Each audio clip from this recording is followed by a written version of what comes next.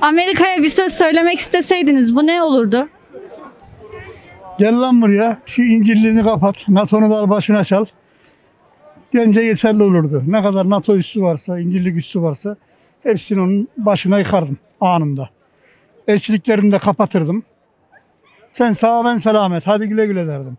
Tüm Amerikan mallarının ülkeye girişini çıkışını yasaklardım. Ee, öncelikle siyahileri bence öldürmesinler. Ee, çok ırkçı.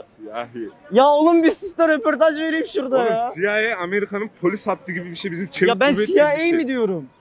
Tamam da bir daha Nigade, Zenci. nigade. Ne, oğlum o ırkçılığa giriyor. Senin Lan yaptığın girmez, yanlış. zenci O de- ırkçılık. Zenci değiller mi ama? Irkçılık yapmasınlar. Benim söylemeye çalıştığım şey o.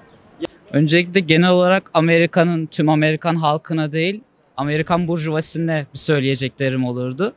Yani dünyayı sömürmeyi bıraksınlar, dünyadaki işçileri, kendi ülkelerindeki işçileri, büyük şirketler sömürmeyi bıraksınlar. Amerikan proletaryasına da, Amerikan işçilerine de söyleyeceklerim şey olur. 1 Mayıs'ta Türkiye'de biz işçiler olarak sokakta sesimizi çıkartamıyoruz. Umarız Amerikan işçileri 1 Mayıs'ta sokakta olur ve seslerini Gürce bizim yerimizde de çıkartırlar. Vallahi bizim Amerika'da herhangi bir ara vereceğimiz yok. Bizim e, bizim Türkiye Cumhuriyeti Devleti kimsenin minneti yok. Biz Amerika'ya meydan okuyoruz. Buyursun gelsin. Amerika'ya biz 50-60 senedir söylüyoruz. Amerika katil katil diye. Ha. Bizi o zaman kovalıyorlardı. 6. filoyu kıble kabul edip bizi kovalıyorlardı. Amerika katil katil diye biz 50 yıl önce söyledik. 60 yıl önce söyledik. Daha söyleyecek sözümüz mü kaldı bizim? Amerika ne diyorlardı? Yani özgürlük ülkesi diyorlardı.